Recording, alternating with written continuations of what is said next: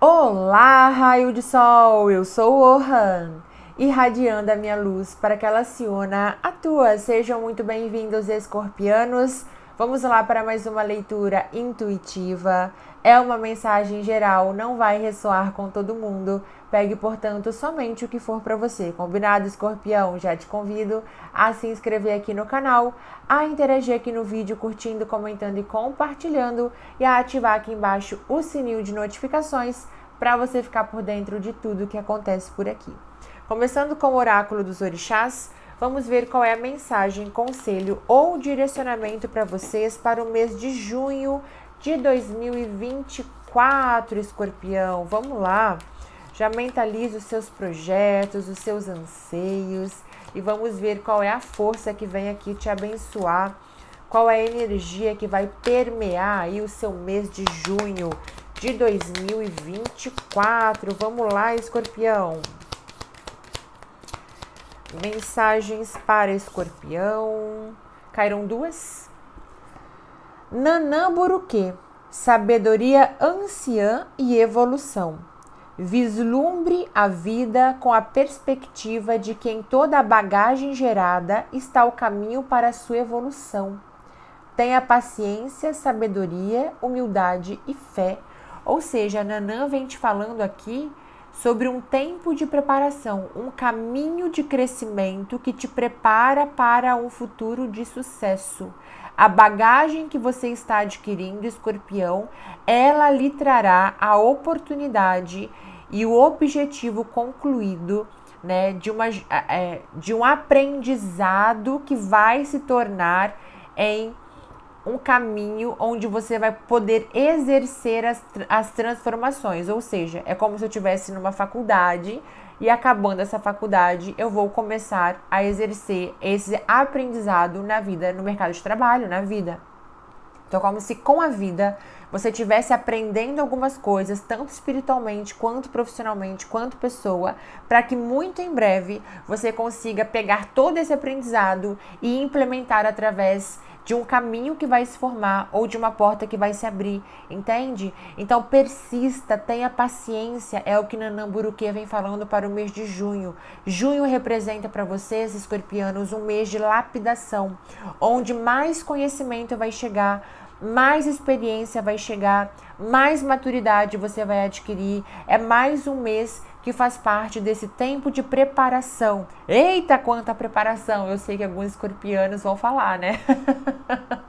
não aguento mais esperar, não aguento mais tanto desafio para aprender, mas confia, porque Nanã Buruque vem trazendo também toda essa cor lilás, que é a energia da transmutação ou seja, você conseguindo, você tem um dom, um dom, de cura, né? Com certeza, mas você conseguindo também transcender muitos obstáculos, sabedoria anciã e evolução. Muito apoio dos pretos velhos também, né? Nesse mês de junho de 2024. Faça de repente o café para os pretos velhos, faça uma oração para Nanã, para que ela abençoe seus caminhos, mas tem muito, muitos ancestrais aqui te abençoando, escorpião, para que você tenha força e para que você entenda o que precisa entender, porque você está no caminho certo. Essa carta vem falando sobre você alinhado com um caminho de um caminho tortuoso, mas um caminho de percalços necessários para que você cresça como humano, cresça como um ser espiritual, né? E vivencie esses aprendizados que te preparam para uma colheita e uma vitória. Então, dedique-se nesse mês de junho, né? Agarre as oportunidades de aprendizado que vão surgir, certo? Oxalá, linha da Umbanda Oxalá, fé. Esta carta convida você a olhar para o início. Essa linha representa o princípio, aquilo que ainda não foi criado, a fé, a religiosidade e o reflexo de Deus.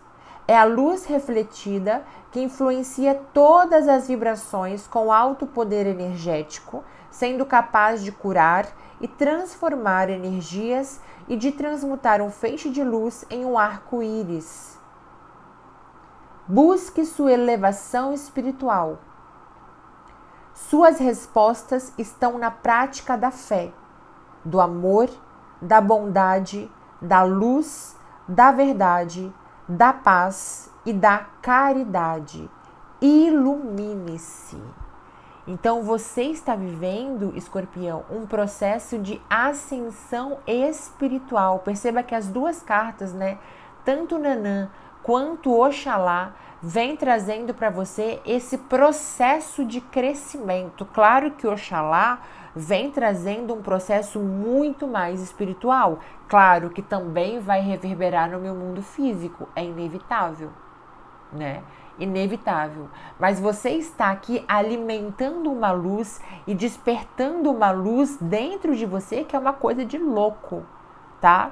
Porque Oxalá vem falando sobre a energia que a tudo movimenta, que a tudo ilumina. E você está sendo iluminado por essa energia. Picos de criatividade, grandes insights, revelações espirituais, mensagens espirituais, sua intuição bombando, sua mediunidade explodindo. O seu olhar precisa se voltar agora para o campo espiritual, porque o campo espiritual bem trabalhado é o que vai trazer para você as modificações também no campo físico. Repito, você, escorpião, está sendo lapidado pela vida. O seu propósito é grandioso, o seu caminho é brilhante. E agora você precisa mesmo focar nos estudos, focar no aperfeiçoamento do seu trabalho, focar nos treinamentos que você precisa passar. Você está sendo treinado pela vida. E a sua recompensa está logo ali adiante. Persista, viu? Tenha fé. Continue, siga o seu caminho. Continue fazendo o que você está fazendo. Tá? É como se essas cartas falassem isso.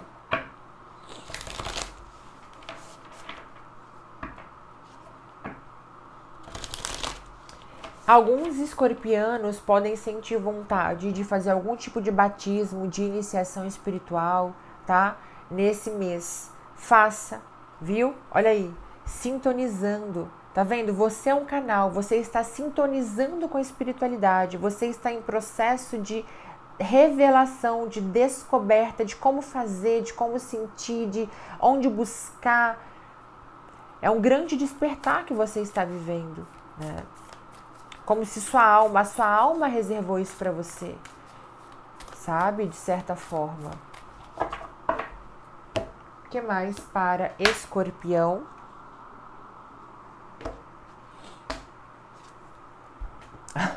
Força psíquica. Eu tô te falando, escorpião.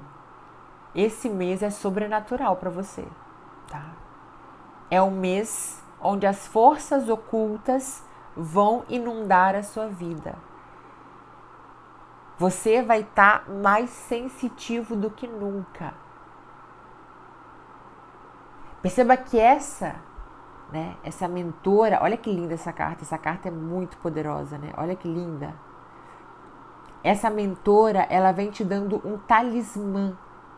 Então, muitos escorpianos vão ganhar nesse mês um talismã da espiritualidade. E vocês não vão ter dúvida que é um talismã da espiritualidade. Pode ser que a espiritualidade use alguém para te entregar esse talismã, um presente que você recebe de alguém, alguma coisa que você recebe aí. Mas vocês serão presentes, ou vocês encontram, né? Pode ser que vocês achem na rua, alguma coisa nesse sentido. Achem perdido nas coisas de vocês. Mas você receberá um talismã de proteção e de abundância espiritual como se fosse um portal que você abre e se conecta com os seus mentores diretamente, tá? Honre a sua força psíquica, viu?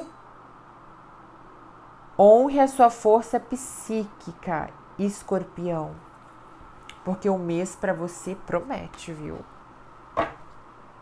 Olha aí, brilho, brilho, brilho, brilho, brilho.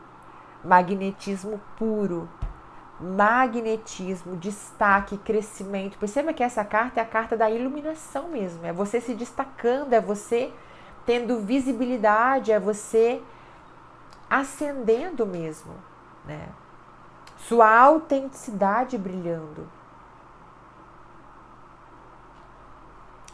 Se você vai passar por algum processo seletivo, maravilhoso, né? Maravilhoso. tá? Mas é um mês para que você observe mais, até fique mais na tua, né?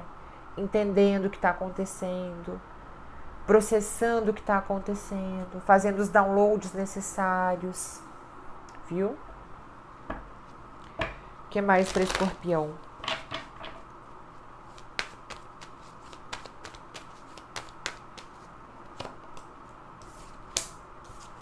Dez de copas.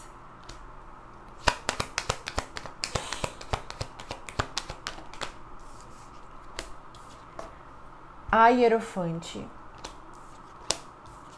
A força. E oito de ouros. Perfeito, perfeito.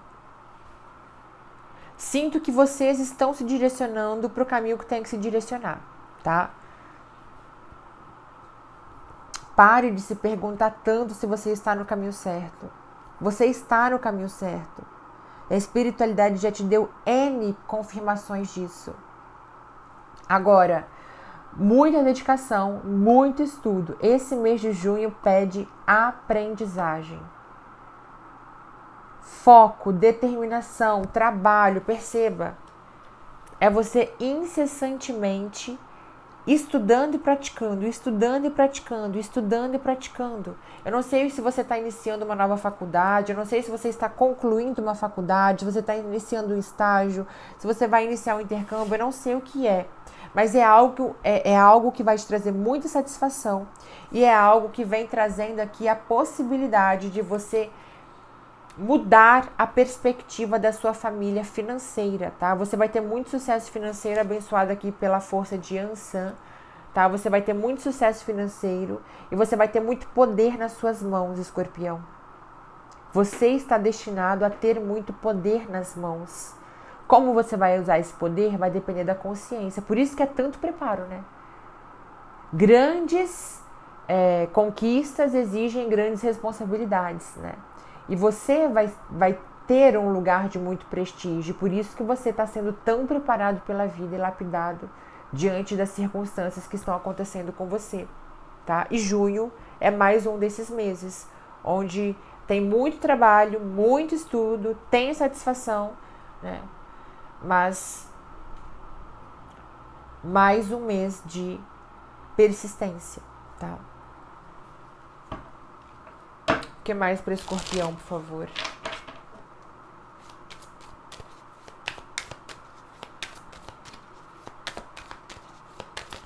O que mais para escorpião?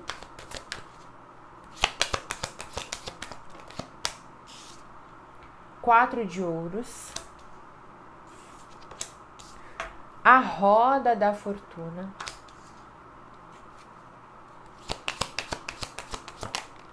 E o carro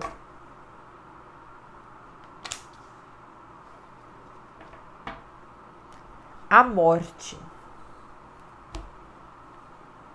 Bom, se você vinha sentindo as coisas paradas, se você vinha sentindo um certo tédio ou você se sentindo um pouco preso em relação às suas, né, é uma, não sei se é uma ansiedade ou se uma sensação de posso fazer mais, queria estar tá fazendo mais, estou ansioso ou ansiosa para é, dar os próximos passos, né? É como se tivesse algum tipo de situação aqui que tá, tipo, tá sabe? Eu queria estar tá fazendo mais. Essa é a sensação. Queria estar fazendo mais, mas por algum motivo não posso. Vem cá, filha. A Atena tá aqui esfregando no meu pé. Deixa eu pegar ela. A Atena eu acho que apareceu em um dos vídeos recentemente. Olha, gente, essa é a Atena. Vocês conhecem a Safira, né? Essa é a Atena. Ela tá se acostumando ainda a aparecer aqui nos vídeos. Mas ela fica, ela fica querendo carinho. Ela é tão dengosa, gente, tão dengosa, tão dengosa, né, Atena? E a Safira é mais esparrachada, né? Ela fica fazendo carinho, ó. O problema dela é que ela faz carinho nas cartas, ela derruba tudo. Mas enfim, é, uma mudança aqui, né?